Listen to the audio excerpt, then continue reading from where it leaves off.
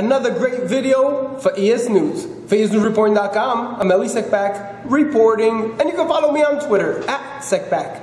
And you can follow me on Instagram, at Elie Seckbach.